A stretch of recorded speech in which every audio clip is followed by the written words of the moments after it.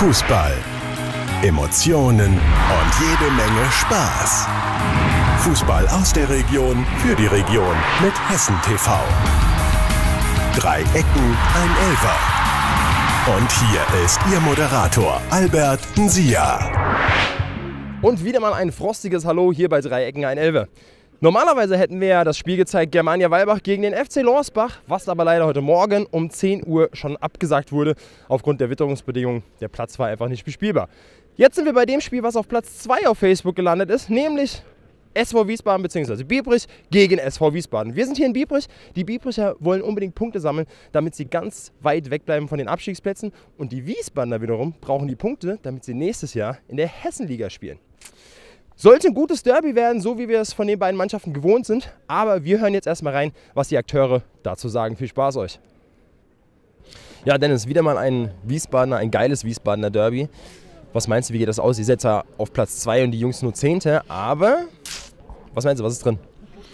Drei Punkte. Also ich, wie gesagt, wenn, wenn wir schon hierher fahren, dann gehen wir von drei Punkten aus. Das ist doch klar. Also wir trainieren viermal beziehungsweise teilweise fünfmal die Woche und, und, und sind eigentlich recht fit. Konnten halt wie die anderen halt auch nicht. Äh, äh ja, Top-Bedingungen äh, vom, vom Training halt, aber im Endeffekt die anderen haben das gleiche wie wir und äh, ich gehe von drei Punkten aus. Ihr kriegt auch viel Gegenwind, so von wegen Millionarios etc. Wie kommt man damit klar? Und steht man dann nicht erst recht in der Pflicht, aufsteigen zu müssen? Also für mich persönlich nicht, nein. Also ich habe ich hab meine, meine Ziele als, als, als Spieler und, äh, und, und, und natürlich auch Verantwortung gegen Verein über, dass ich halt äh, spiele und auch gut spiele und meine Tore mache. Das versuche ich so gut wie möglich. Mhm. Versprochen habe ich einen Sascha Amstetter vor, der Vertrags also vor dem Vertrag äh, Unterzeichnung, dass ich, dass ich 15 mache und äh, da bin ich ganz gut dabei. Was hast du bisher? Äh, sind elf. Oh ja, gut, ja, hallo. ja, gut, dann sind vier Tore noch, aber wie gesagt, man muss auch fit bleiben und, und, und sich nicht verletzen, aber ich gehe stark davon aus. Herr Vasic, wie schätzen Sie, wie stark schätzen Sie die Biblische heute ein? Ja, das erste Spiel ist wie ein Pokalspiel. Es ist schwer einzuschätzen, aber glaube ich ein ganz enges und spannendes Spiel. Wie geht es aus? Ich hoffe, dass wir schaffen können zu gewinnen. Was wäre, wenn das Spiel heute verloren gehen würde? Ja, da haben wir noch 14 Spiele und dann versuchen wir auch 14 Mal zu gewinnen. Der SV Wiesbaden eigentlich klarer Favorit in dem Derby, oder? Ja, das stimmt. Das heißt, Tabellenplatz spricht schon. Die wollen Meister werden. Wir brauchen Punkte schnell wie möglich aus der Abstiegszone wegzugehen, unseren einstelligen Platz zu, erreichen. Und dann denke ich mal, es wird ein spannendes Spiel. Was ist, wenn das Spiel verloren gehen würde jetzt gegen Wiesbaden? Was wäre, wenn wir das Spiel gewinnen würden? Das wäre vielleicht anders. Wir werden alles tun, ein gutes und spannendes Spiel da zu sein. Wir werden auf die Sieg spielen und dann werden wir sehen, was äh, eigentlich da rauskommt. Wie geht das Spiel aus? Ich habe getippt 2-1 und stehe ich da hinten. 2-1 für uns. Perfekt, schauen wir mal. Bis später. Endlich geht er wieder los, der Ligabetrieb. Beide Mannschaften sind froh, dass das Spiel nicht wie die anderen Partien abgesagt wurde. Die Anfangsphase aber eher verhalten von beiden Teams, auch wenn Biebrich die erste Chance in der siebten Minute hat. Schöner Volley von Ertugul Birgili und dann aus fünf Minuten Orkunzer.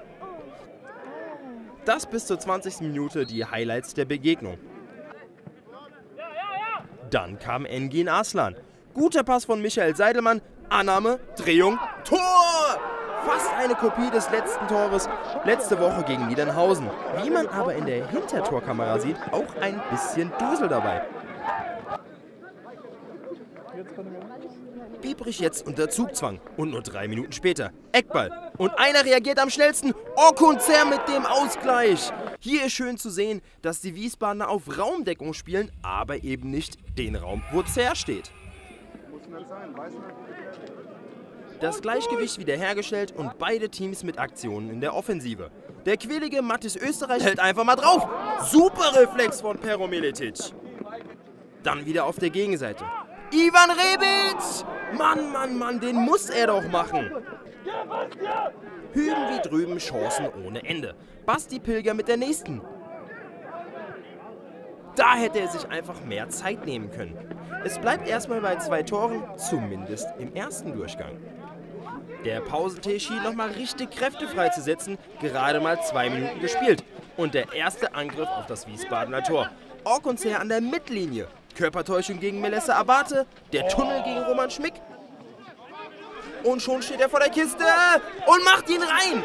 Was ein Spiel! Was eine Leistung von Okun Ser. Sein zweiter Treffer in diesem Spiel. Da kann man sich mal ausgelassen freuen und die Freundin grüßen.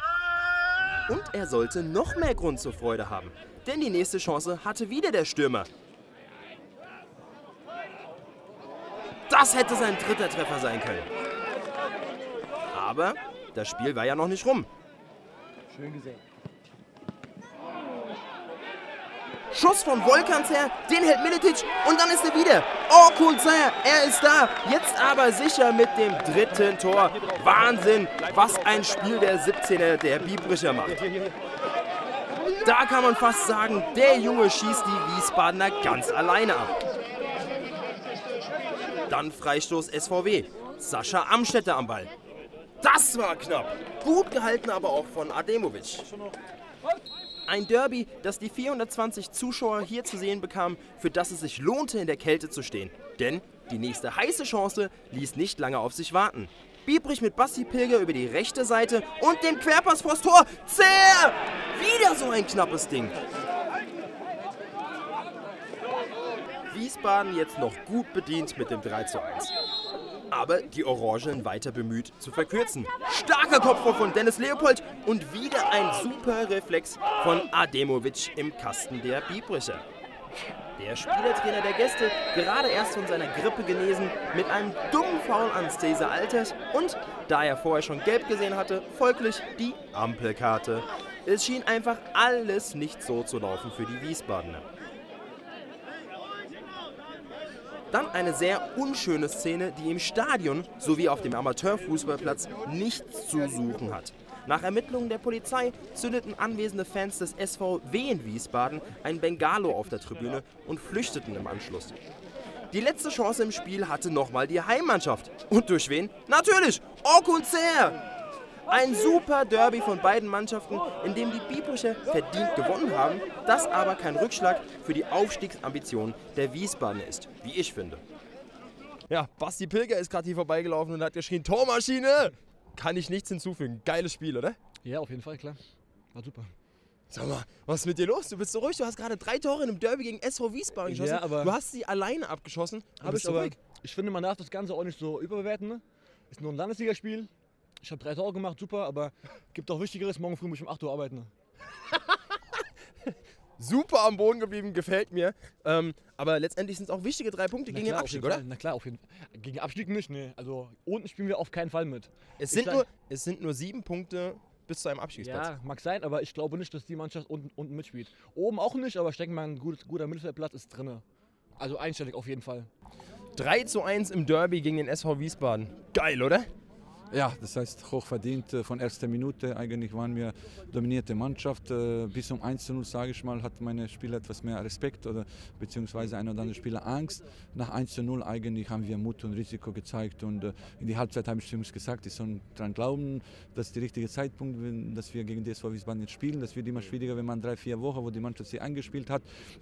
Und die lange Vorbereitung, wo wir gemacht haben, hat sie ausgezahlt. Und diese drei Punkte eigentlich äh, sind die Punkte, was wir bis zur 40 äh, Punktezahl brauchen. Und auf die Grund von den gesamten 90 Minuten eigentlich hochverdienter Sieg.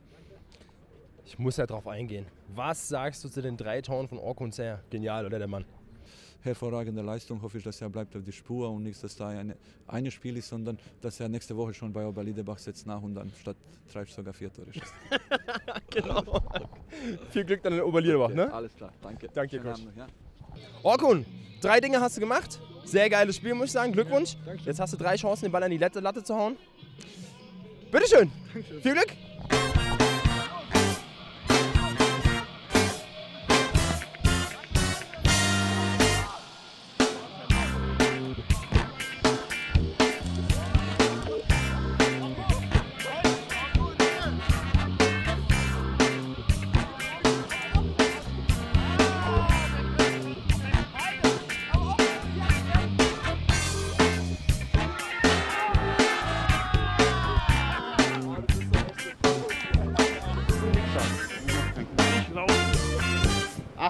Auf drei, zwei, eins, go!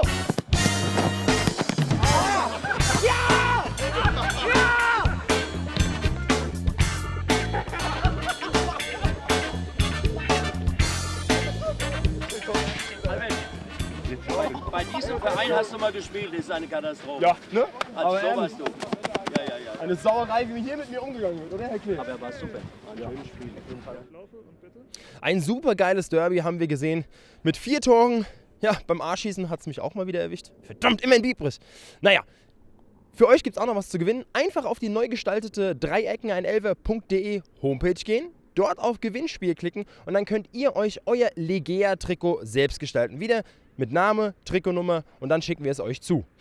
Das war's hier aus dem kalten Biebrich. Ich hoffe, in den nächsten Wochen wird das Wetter wieder etwas wärmer und dann fallen die Spiele auch nicht aus. Wir sehen uns beim nächsten Mal hier bei Dreiecken, ein Elfer.